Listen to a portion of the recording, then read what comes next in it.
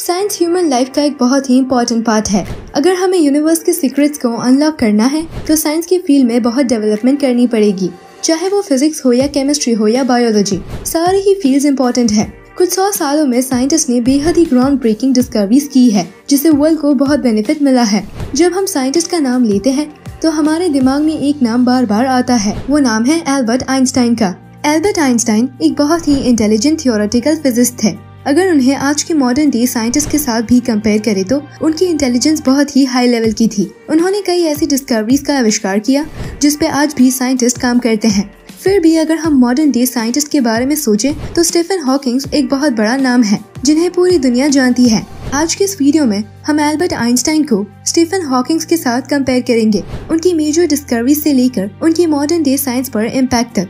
इन सभी चीज़ों के बारे में आज हम जानेंगे। तो मेरे साथ वीडियो के आखिर तक ज़रूर बने रहिए। मैं हूँ आपकी होस्ट और दोस्त नताशा और आप देख रहे हैं India top facts number one introduction Albert Einstein एक जर्मन मैथमेटिशियन और फिजिस्ट है। उनका जन्म मार्च 14, 1879 को जर्मनी में हुआ था। उनके पिता का नाम हरमन आइंस्टाइन था जो कि एक सेल्समैन और इंजीनियर थे।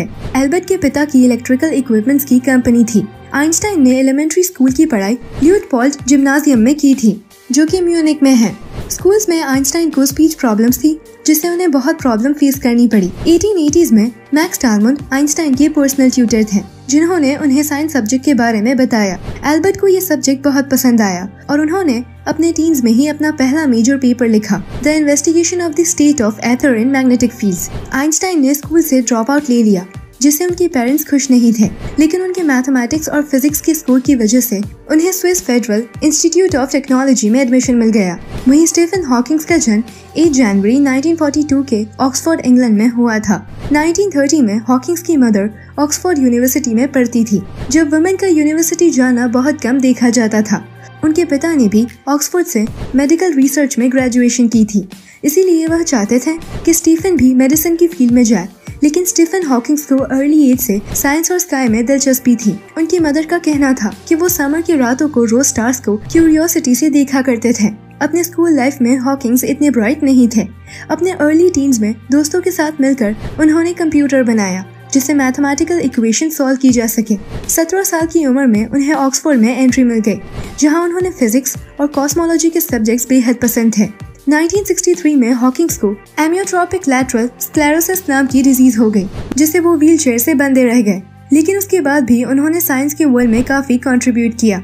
इन साइंटिस्टों की एक खास बात होती है, जब तक इनके कॉन्सेप्ट क्लियर नहीं होते, तब तक वे सवाल पूछते रहते हैं और सोल्यूशन ढूंढते रहते हैं। ऐसे ही एक ज़बरदस्त feature Unacademy ask a doubt लेके आया है। यहाँ पर आप अपने अनलिमिटेड डाउट्स पूछ सकते हैं। कभी भी, कहीं से भी, और वो भी फ्री में। अगर आप फाइव डाउट्स पूछते हैं तो आपको मिलता है सेवन डेज़ का अन अकेडमी प्लस सब्सक्रिप्शन एकदम फ्री प्लस सब्सक्रिप्शन से आप इंडिया के टॉप एजुकेटर्स की live classes structured courses live test and quiz का बेनिफिट ले सकते हो। ऑफर्स की टर्म्स एंड कंडीशन कुछ इस तरह है। ऑफ़र सिर्फ़ C B S E class six to twelve के लिए एप्लीकेबल है। Offer only available for free learners offer duration 29th August to 5th September.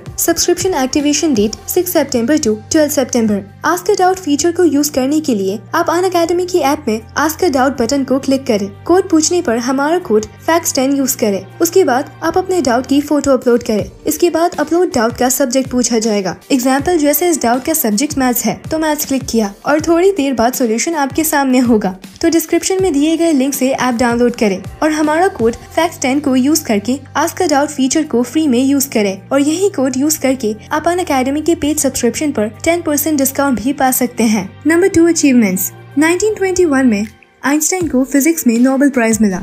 इसके साथ ही उन्हें gold medal of royal astronomical society Max Planck medal Copley medal और Frank medal भी मिला था। एल्बर्ट आइंस्टाइन की कुछ बेहद ही इंपॉर्टेंट डिस्कवरीज थे। Special theory of relativity 1905, general theory of relativity 1916 और theory of Brownian movement in 1926। इसके साथ ही उन्होंने 1938 में द एवोल्यूशन ऑफ़ फिजिक्स के बारे में भी बताया। वहीं स्टीवन हॉकिंग्स को बहुत से मेडल्स और अवार्ड मिले थे जैसे कि Albert Einstein medal Hughes medal Adams prize presidential medal of freedom Franklin medal और वुल्फ प्राइज ऑफ़ फिजिक्स उनकी कुछ इंपॉर्टेंट डिस्कवरीज थी। स्टीफन हॉकिंग्स की सबसे बड़ी डिस्कवरी ब्लैक होल्स के बारे में थी, जिसमें उन्होंने कहा कि ब्लैक होल्स में से भी रेडिएशन निकलते हैं। इसका नाम भी हॉकिंग्स रेडिएशन रखा गया।